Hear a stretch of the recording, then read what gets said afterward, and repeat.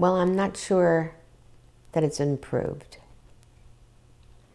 I'm not sure that people, uh, what I see now, well, let me just say this. I'm talking about American television. The British have always done it right. The British have always been meticulous at getting the period right. I don't have to hear sound. I don't have to know what the show is. I don't have to know anything. You show me a clip and I will tell you if it's British. And the reason is because they really, really work at it and they train their people a lot, um, a lot harder than Americans.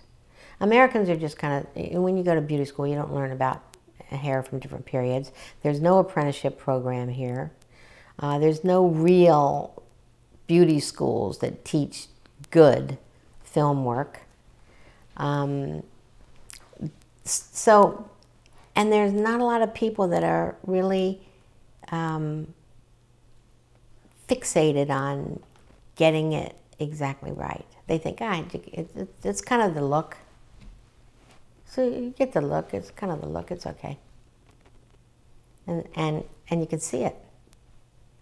So I would like to see us a little bit more meticulous about um, what we do. Modern day hairstyles, you know, even modern day hairstyles. I, I never thought I would be one of those people that said, you know, back in 02 when I did things.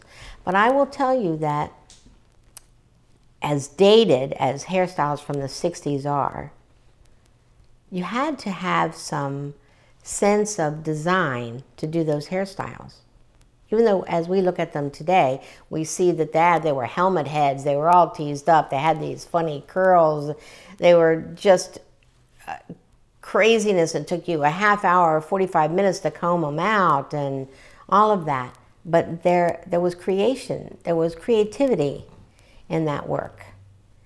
Today, hair looks like this. What does that take? It took me 10 minutes. So, I mean, I, I think it's an okay hairstyle. It's all right. But people don't, um, they don't, they don't um, focus on hairstyles these days. Now, I'm not judging that bad or good. They just don't do it. But if you're doing a period piece, you have to. If you're doing a present day piece, you can do whatever you want and whatever the whatever the trend goes to. That's okay. It's okay. It's just not the 60s. It's just not um, the 50s even or the 40s. I mean, the women in the 40s just dressed up. Um, I'm glad women don't dress up now. I, I want to wear my jeans. I want to wear my hair like this. I don't want to do my hair all up. But it isn't the same. And it doesn't take the skill that it took then, which is okay too.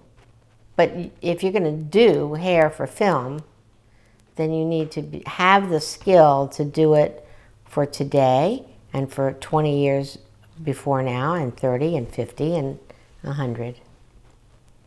And that's important.